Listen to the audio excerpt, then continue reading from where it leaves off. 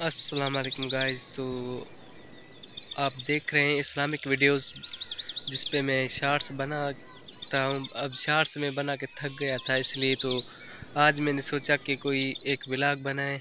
तो ये मेरा पहला विलाग है। इन जो हमारा दूसरा विलाग हुआ, वो संडे को बनाएँगे। उसमें हम आपको दिखाएँगे अपने गाँव का मंजर की कैसा है। उसकी जो है खूबसूरती गाँव की, वो सब कुछ आपको बताएँगे। और आप सपोर्ट करना तो हम ज़्यादा वीडियो बनाएँगे नहीं बनाएँगे। ये हम पहला छोड़ते हैं अगर इस पर कोई रिस्पॉन्स मिला तो हम और भी बनाएँगे।